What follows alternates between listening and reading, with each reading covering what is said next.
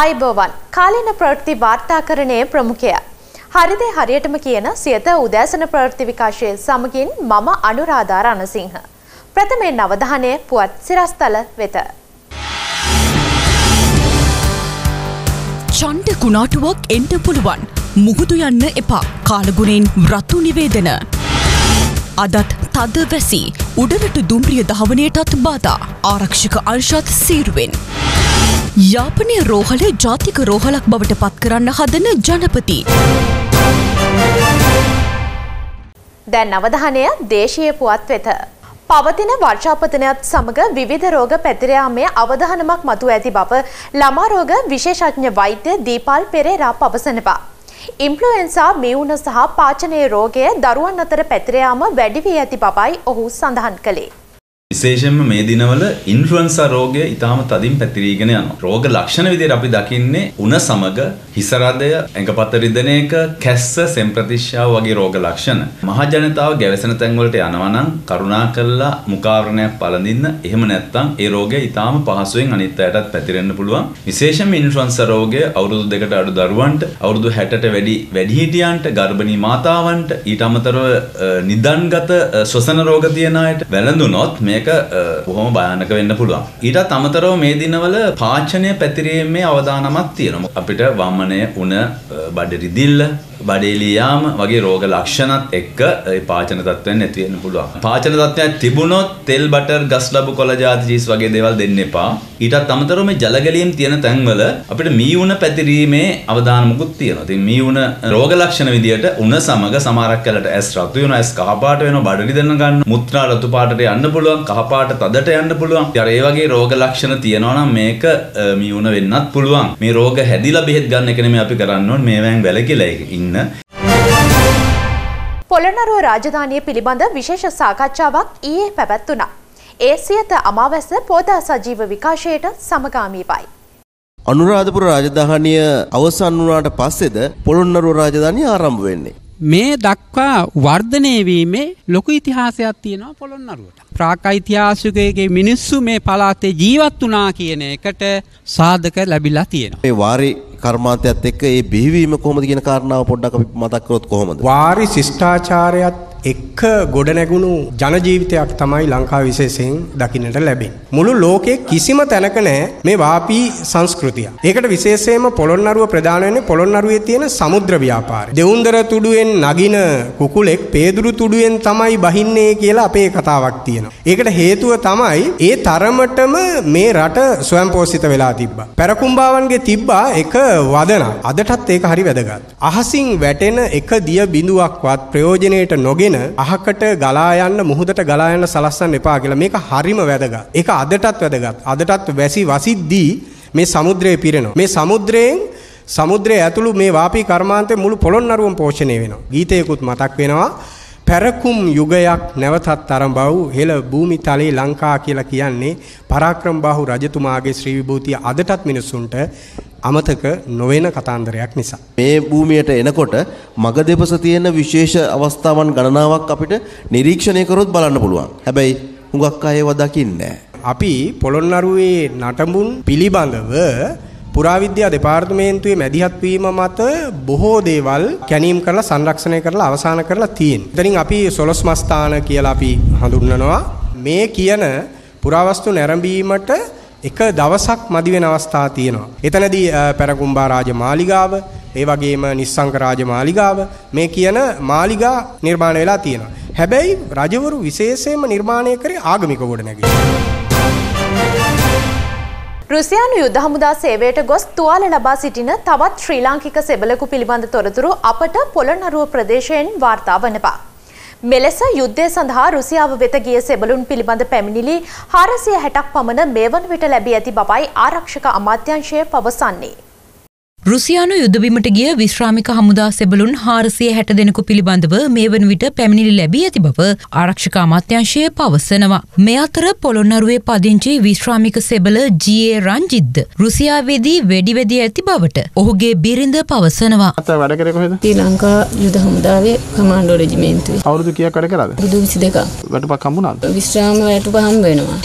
එක පාට උදේ කියලා තමයි හවස යන්න කොළඹ ගිහිල්ලා ඔය දේ කරගන්න හරි ගස්ස එකත් එයාට යාළුවෝ දෙන්නෙක් කතා කරා කියලා. කවද්ද මෙයා මේ රුසියාවේ යුද්ධෙටම ගිය කියලා 2024 3යි 27 ගියේ. එයා ගිහිල්ලා කතා කරා හොඳට. එයා වීඩියෝ දාලා තිනවා කන බොන ඒවා එයා හොඳට ඉන්නවා කියලා හැමදාම කතා කරා. හැමදාම කතා කරලා පෙරේදා උදේ කතා කරා. 11 ගානකට මෙහින් කතා කරලා කිව්වා. මට වේඩි වැදුනා කකුල් දෙකම කැඩලා කිව්වා. මට අමාරුයි කිව්වා. ආයේ දෙකමාරට ගත්තා. අරගෙන ඒත් මට කතා කරන්න බැරි වුණා.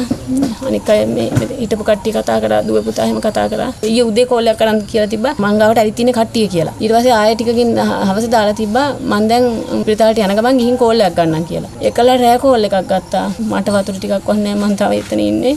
වතුර ටිකක් වන්නේ නැහැ කියලා මගේ වතුර ඉල්ලුවා. මට එයා ගෙනලා දෙන්න කියලා තමයි කියන්නේ. පිටාලකට තව ගෙනිහිල්ලා නැහනේ. මො- මොන ප්‍රදේශයද ඉන්නවා කියලා කිව්වද ඔයාලට? ඩෝනෙක්ස් කියලා ඒ ප්‍රදේශේ ඉන්නවා කියලා. තාත්තා එකපාරටම රුසියානු හමුදාවට බැඳෙන්න යනවා කියලා මට මේ කතා කරලා කිව්වා. යන්න එපා කිව්වට මේ බෑ යාට පුරුදු දෙයි කියලා එයා කීවේ යාට පුරුදු දෙන්නේ හින්දා මට බේ මේ එහෙම මේව එකක් වෙන්නේ නැහැ කියලා තමයි එයා කීවේ. එයා දැන් මේ හොස්පිටල් එකට අරන් යනවා කියලා හැම වෙලෙම අපිට කියන්නේ අපි බය වෙන හින්දා. ඒ වුණාට තාම කිසිම තොරතුරක් නැහැ. මම ඉල්ලන්නේ බාතව කොහොම හරි කරලා දෙන්න. එයා වගේ තව කී දෙනෙක් ඇද්ද ඔතන හොම මේව වෙලා. මේ සම්බන්ධව ඔයාලා පැමිණිල්ලක් දැම්මද කොහෙද? ඕ පොලිසියට පැමිණිල්ලක් දැම්මා. තාත්තගේ තොරතුරු මේ ආරක්ෂක අමාත්‍යාංශයට දීලා තියෙන්නේ දැන්. ඉස්සෙල්ලාම කතා කරද්දි වෙඩි වෙදෙනවා කියලා කිව්වා. ඊට පස්සේ කතා කරන් පස්සේ මේ කවුරුවත් නැහැ කියලා කිව්වා මේ අනිත් ඔක්කොම කට්ටිය මැරුණා කියලා කිව්වා. ඊට පස්සේ ඊයේ රෑ 9යි 11ට කතා කරලා කිව්වා එයාට වතුර තිබ්බහයි කියලා. ඒ කියන්නේ එයා තාම තාම කැලේ හිටියා කිව්වා. කුමාරි තාත්තා බේර දෙන්න කියලා තමයි මං කියන්නේ. එයා දැන් අමාරුවෙන් කතා කරේ. රටේ වත්මන් තත්ත්වය සම්බන්ධයෙන් ඇසුණු කතා දැන්. වතු සේවකින්ට පඩිය මදින රුපියල් 1000කින් ජීවත් වෙන්න බෑ කියන එක ඕන කෙනෙක් දන්නවා. ඒ අනුව තමයි 1700 සකස් වෙන්නේ. වැටුපක් තීරණය කරා ඒ වැටුප ගෙවන්න බැරි නම් ඒ ගැන අපි හොයා බලනවා. අවුරුදු ගාන කළමනාකරණයේ දුර්වලතාවයක් නම් මේ බදු ගිවිසුම් වෙනස් කරනවා. කැබිනට් මණ්ඩලයේ තීරණය කියලා කියන්නේ මේ රටේ විධායකයේ තීන්දුව. ඒ තීන්දුව අනුව කටයුතු කරන්න සියලු දෙනා බැඳිලා ඉන්නවා. ප්‍රාදේශ සභා තියන්න ගිහිල්ලා බය වෙච්ච රනිල් වික්‍රමසිංහ මැතිතුමා පළාත් සභා ගැන හිතන්නේ කොහොමද? පළාත් සභා ප්‍රාදේශ සභා දෙකම තියාගන්න බැරි වෙච්ච රනිල් වික්‍රමසිංහ මැතිතුමා පාර්ලිමේන්තුව ගැන හිතලා වැඩක් නැහැ. ජනාධිපතිවරණයේ රනිල් වික්‍රමසිංහ මැතිතුමා තියෙන ඡන්දයක් නෙමෙයි. රනිල් වික්‍රමසිංහ මැතිතුමා මැතිවරණ වලට බය නැත්තම් අදරය 12ට කැසට් එක ගහන්න පාර්ලිමේන්තු මැතිවරණයක් සමගි ජනබලවේගයේ අපි සූදානම්. අද අපේ තරුණ තරුණයන්ට පිට රටවල් වල ගිහිල්ලා වැඩ කරන්න ඕනි තත්ත්වයට රට පත් කරේ. මේ රට ගොඩනැගෙන්න දුන්නේ නැති කාලකණි නෙවෙයිද? හාල් සේරුවද හාල් සේරු දෙකද? මේ එක එක විදියට එක එක දේශපාලන නායකයෝ මේ රටේ මිනිස්සුන්ව පුලන්න තත්ත්වයට පත් කරා. අපිට ඕනි අපේ තරුණයන්ගේ ජවය ශක්තිය දැනුම රත් වෙන ලේ පාවිච්චි කරන්න මේ රටේ ආර්ථිකය හදන්න. මේ දිනවල පවතින අධික වර්ෂාවත් සමග උඳුගොවීන් කබලෙන් ලිපට වැටී තිබෙනවා. අධික මිලක් වැය කර උඳු වැපුරුවත් වැස්ස නිසා උඳුගස්වලට හානි සිදු ඇති බවයි වාර්තා වන්නේ. අපේ රටේ උන්දූ වගා කරන තවත් එක් ප්‍රදේශයක් රජරට. රජරටට අයත් කැකිරාව නිකිනියාව ඔළොම්බෑව ප්‍රදේශවල අක්කර හැටකට වඩා භූමි භාගයක උඳු වගා කෙරෙනවා. මේ දිනවල පවතින අධික වර්ෂාවත් සමග අක්කර විස්සක පමණ භූමි භාගයක වගා කළ උඳු වගාවට හානි සිදු වෙලා. වතුර තියෙන තැන්වල තමයි උඳු කුණු වෙන්නේ. දැන් මේ වතුර වැඩි වුණොත් උගහ හැදෙන්නේ නැහැ. අපි කන්නකටම වතුර මුර තුනක් විතර තමයි හරවන්නේ. මේ හරිය කුණු වෙලා තියෙන්නේ. කර 50කටක් තියෙනවා අපේ ගම්මානේ විතරක් ඊටත් වැඩි ඇති හානි වෙච්ච ඒවා. උඳු කිලෝ එකක් උඳු බීජ ගන්නකොට අපිට කිලෝ එකක් 900ට දෙන්නේ. අපිට අක්කර දෙකමාරක් වගේ ගහනවා නම් උඳු කිලෝ බීජ ඕන 30කට වැඩි. හානි වෙලා තියෙනවා කොහොමත් අක්කර 10කට 20කට වගේ තියෙනවා. වතුර වැඩිකම. මේ ගාමේ තියෙන්නේ මේ මඩේ. මේක මේ උණුවේගෙන තමයි මේ එන්නේ. වතුර වැඩි වෙලා. ඉරාන ජනපති ඊබ්‍රහිම් රයිසි ගමන්ගත් හෙලිකොප්ටරය අනතුරට ලක්වීම සම්බන්ධයෙන් නිකුත් කළ පළමු වාර්තාව පිළිබඳ විදෙස් මාධ්‍ය වාර්තා කර තිබෙනවා. හෙලිකොප්ටරය ගමන් කර ඇත්තේ නියමිත ප්‍රියාසර මාර්ගයේ බවයි මෙම වාර්තාව පෙන්වා දෙන්නේ. එහි ගමන් මගෙහි කිසිදු වෙනසක් සිදුවී නැහැ. ඉරාන ජනාධිපති ඒබ්‍රාහිම් රයිසි ඇතුළු පිරිස ගමන්ගත් හෙලිකොප්ටරය අනතුරට ලක්වීම සම්බන්ධයෙන් පළමු වාර්තාව නිකුත් කර තිබෙනවා. සන්නද්ධ හමුදා කාර්ය මණ්ඩලයයි වාර්තාව නිකුත් කර ඇත්තේ. හෙලිකොප්ටරය කඩාවැටීමෙන් පසුව විශේෂඥයන් සහ කාර්මික ශිල්පීන්ගෙන් සමන්විත ජේෂ්ඨ විමර්ශන කමිටුවක් එම ස්ථානයට ගොස් තිබුණේ ඉකුත් සඳුදා දිනයි. වාර්තාවට අනුව හෙලිකොප්ටරය පෙර තීරණය කරන ලද මාර්ගයේම ගමන් කර තිබෙනවා. එය ගුවන් ගමන් මාර්ගයෙන් ඉවතට ගොස් තිබුණේ නැති බවද වාර්තාවේ සඳහන්. අනතුර සිදුවීමට මිනිත්තු එකහමාරකට පමණ ගමන පෙර අන්තරටපත් හෙලිකොප්ටරේ නියමුවා ජනාධිපතිවරයාගේ නිල ගමනට එක් වූ හෙලිකොප්ටර් පෙළේ අනිකුත් හෙලිකොප්ටර් දෙක අමතා ඇති බවද වාර්තා වනවා. අනතුරටපත් හෙලිකොප්ටරේ සුන්බුන් මත උණ්ඩ හෝ එහා සමාන කිසිවක් තිබූ බවට කිසිදු හෝඩුවාවක් අනාවරණය වී නැහැ. කන්ද මතට හෙලිකොප්ටරේ කඩාවැටීමෙන් පසු එය ගිනිගෙන ඇති බවද පළමු වාර්තාවේ දැක්වෙනවා. මෙහිව් මැදිරිය සහ ගුවන් කාර්ය මණ්ඩලය අතර ඇති වූ සංවාදවල කිසිදු සැක කටයුතු කරුණක් අනාවරණය වී නැති බවද අදාළ වාර්තාවේ වැඩිදුරටත් දැක්වෙනවා. ඉරාන ජනපති විදේශ කටයුතු ඇමති ඇතුළු පිරිස ගමන්ගත් හෙලිකොප්ටරය අනතුරකට ලක්වුණේ ඉකුත් ඉරිදා දිනයි. ගුවන් අනතුරෙන් ජීවිතක්ෂයට පත් ඉරාන ජනාධිපති ඉබ්‍රහිම් රයිසිගේ දේහය පිළිබඳ අවසන් කටයුතු ඔහු උපන් මශාද් ශුද්ධ නගරේදී පැවැත්වුණා.